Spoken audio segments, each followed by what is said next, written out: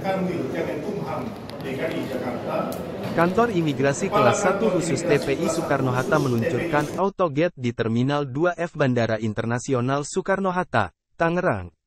Autogate adalah pintu perlintasan elektronik bagi warga negara Indonesia dan orang asing tertentu dalam pemeriksaan keluar dan masuk wilayah Indonesia. tiga, dua, satu. Dan Autogate Terminal 2 Bandara Internasional Soekarno-Hatta resmi digunakan. Ini tanggapannya terkait autogate yang ada di Bandara Soekarno Ya, ini autogate yang terbaru ya, lebih cepat. Terus kemudian dari sisi uh, pengecekan uh, dalam konteks keamanan juga lebih baik karena ada face recognition. Memang di sini baru lima untuk uh, keberangkatan dan kedatangan lima juga, jadi total 10 ya.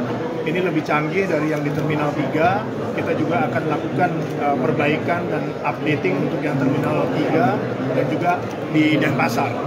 Dan ini bukan hanya satu-satunya kado ulang tahun ya, karena ada beberapa yang lain nanti siang itu kaitan dengan layanan online untuk uh, pengajuan uh, visa uh, kunjungan wisata, kemudian visa pra investasi ya sama perpanjangannya melalui uh, online ya melalui tidak perlu lagi ke kantor imigrasi.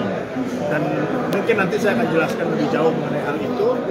Yang ini saya senang gitu ya karena paling tidak mensejajarkan kita dengan negara-negara yang lain yang lebih maju.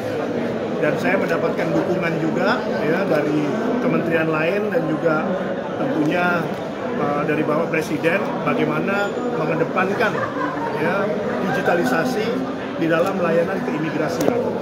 Tetapi kemudahan-kemudahan yang kita berikan kepada para pelintas ya atau uh, pemohon juga tentunya akan diikuti dengan pengawasan yang lebih ketat ya dan juga hal-hal yang kiranya tentunya menjadi potensi keamanan ke depan. Jadi ini mempermudah bukan berarti mudah segala-galanya, tetapi juga diikuti dengan pengawasan yang lebih baik. Ya doakan saja semoga inisiatif-inisiatif yang dilakukan oleh teman-teman di imigrasi ini bisa terus meningkatkan uh, layanan kepada masyarakat.